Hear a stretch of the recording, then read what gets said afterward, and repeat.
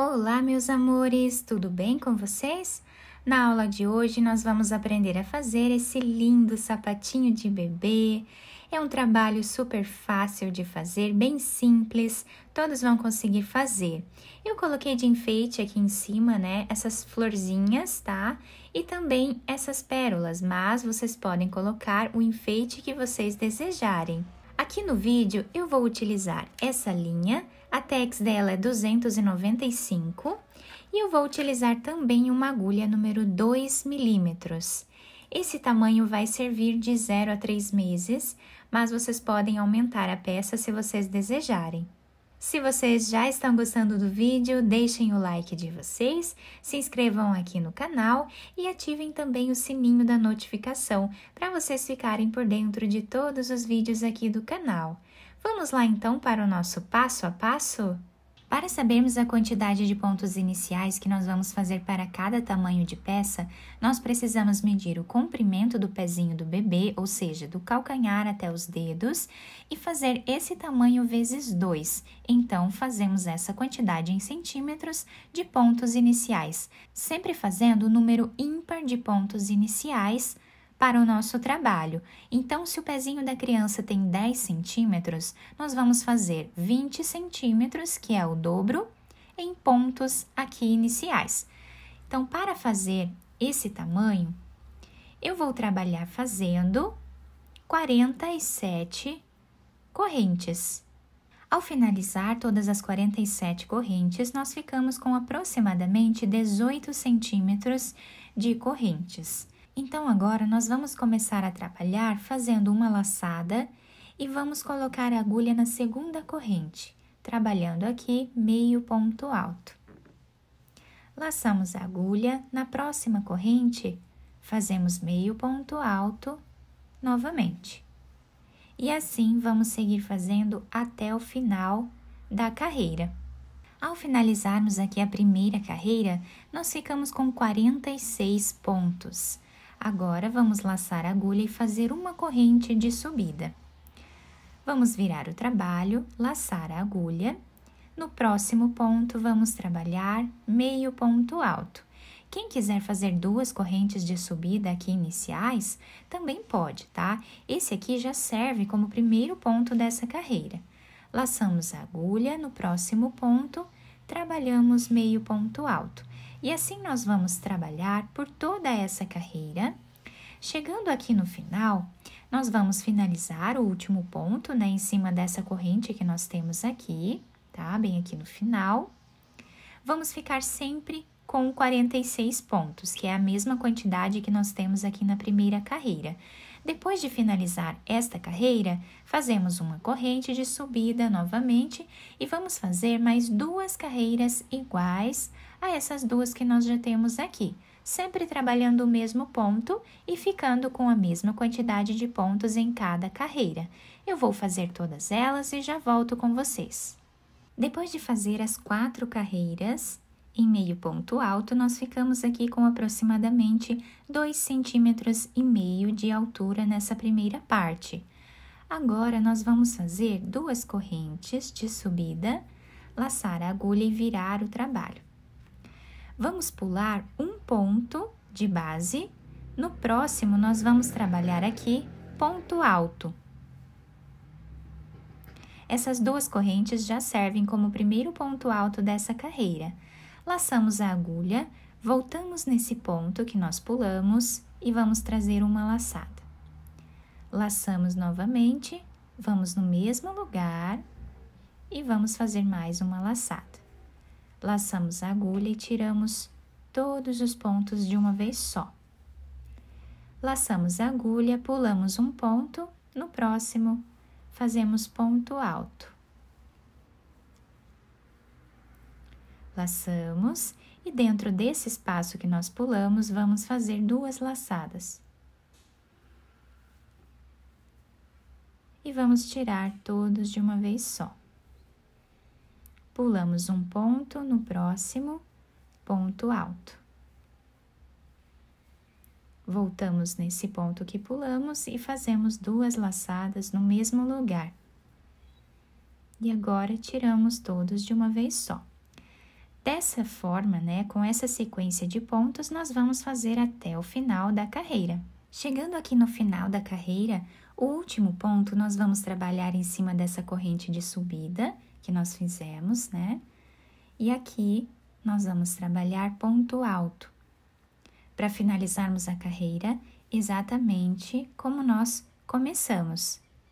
Agora vamos laçar a agulha e fazer uma corrente. Viramos o trabalho. No próximo ponto, nós vamos colocar a agulha e vamos trabalhar aqui fazendo ponto baixo. No próximo espaço, ponto baixo novamente. E assim, vamos seguir fazendo por toda a carreira. Vamos ficar com a mesma quantidade de pontos dessas carreiras iniciais aqui, tá? Então, sempre vamos ficar com 46 pontos. Eu vou fazer até o final da carreira e já volto com vocês. O último ponto dessa carreira, nós vamos trabalhar em cima dessa segunda corrente de base fazendo ponto baixo. Ficamos com o nosso trabalho dessa forma aqui. A partir de agora vai ser repetição. Então vamos trabalhar duas correntes, laçar a agulha e virar o trabalho. Agora vamos repetir exatamente o que nós fizemos nessa carreira aqui. Pulamos um ponto, no próximo trabalhamos ponto alto. Laçamos a agulha, voltamos no ponto que nós pulamos e vamos fazer duas laçadas. Laçamos a agulha, pulamos um ponto, no próximo ponto alto. Voltamos nesse ponto que nós pulamos e vamos fazer aqui duas laçadas no mesmo lugar, ficando dessa forma o nosso ponto. Então, aqui nós estamos repetindo esta carreira. Em cima dela, depois nós vamos fazer mais uma carreira de pontos baixos e depois repetimos mais uma vez essas duas carreiras. Vamos ficar aqui com um total de três carreiras, tá? Com essas laçadas e três carreiras de pontos baixos. Eu vou fazer todas elas e já trago para mostrar como ficou. Finalizei todas as carreiras, ficando com esse desenho o nosso trabalho três carreiras com laçadas e três carreiras de pontos baixos. Nós ficamos aqui com um total de aproximadamente 6 centímetros de altura, contando com essas quatro carreiras iniciais. Agora, vamos fazer uma corrente, virar o trabalho. Essa corrente já serve como primeiro ponto baixo dessa carreira. Nessa próxima carreira que vamos fazer, nós precisamos fazer algumas diminuições. Aqui no início da nossa carreira, nós vamos ficar com 13 pontos. Depois de fazer os 13 pontos iniciais, nós vamos fazer agora 10 diminuições aqui no meio do nosso sapatinho. Então, no próximo ponto, colocamos agulha e trazemos uma laçada. Vamos no próximo e trazemos mais uma laçada. Laçamos a agulha e tiramos os três fios de uma vez só. Aqui nós já temos uma diminuição. Vamos no próximo e fazemos a mesma coisa. Segunda diminuição. Terceira diminuição. Vamos fazer dessa forma 10 diminuições. Chegando aqui no final, nós ficamos com 13 pontos também, os quais nós vamos trabalhar ponto baixo em cima de cada um deles exatamente como nós fizemos no início da carreira.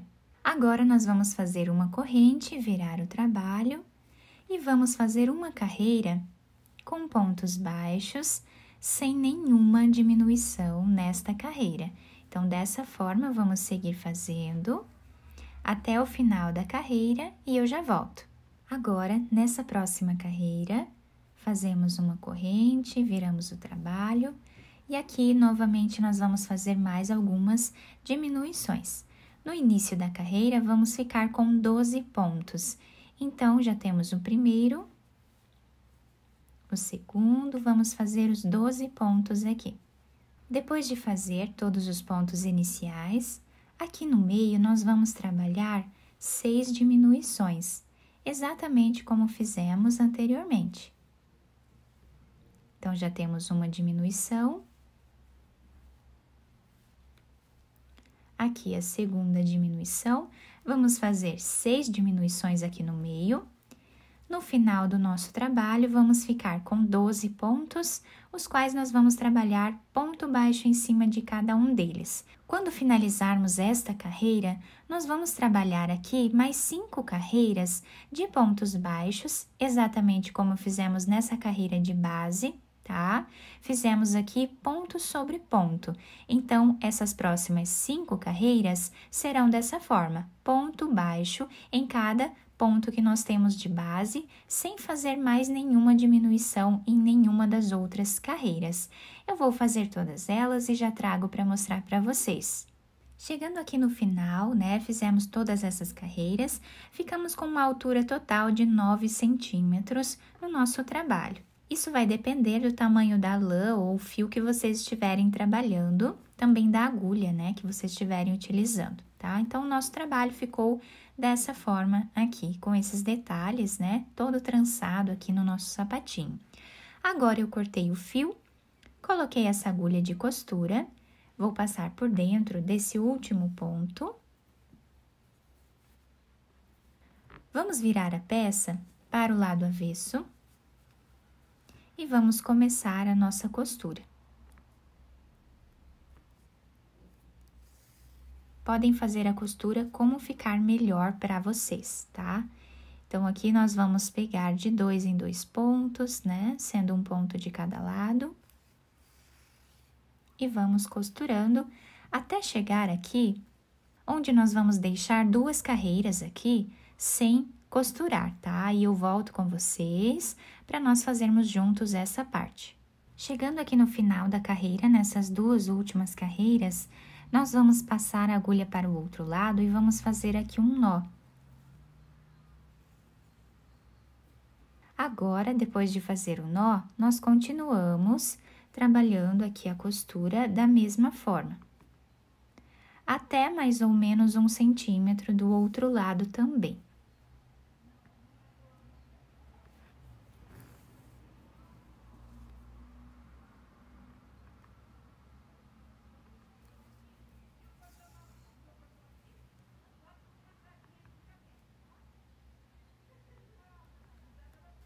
Agora, aqui nessa parte, eu vou fazer o último ponto, deixamos mais ou menos um centímetro de cada lado, e agora eu vou puxar esse fio para nós deixarmos arredondado esse cantinho, né, do nosso sapatinho, tá? Então, aqui ficou arredondado.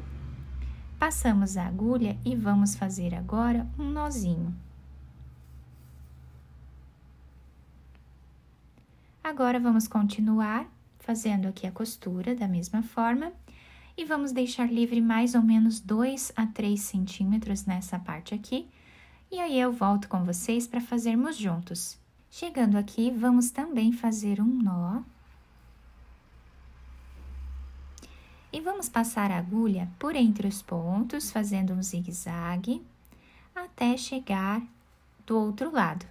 Chegando aqui, vamos puxar o fio deixando arredondado essa parte também. E depois, podemos fazer aqui um nó, esconder esse fio entre os pontos e depois cortá-lo.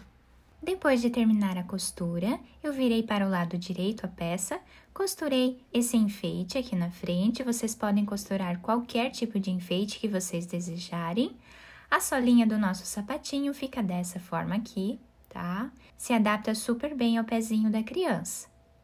Eu espero que vocês tenham gostado do nosso vídeo. Se vocês gostaram, deixem o like de vocês, se inscrevam aqui no canal, ativem também o sininho da notificação para vocês ficarem por dentro de todos os vídeos aqui do canal. Muito obrigada pela atenção de todos, um beijo no coração, fiquem com Deus e até o próximo vídeo!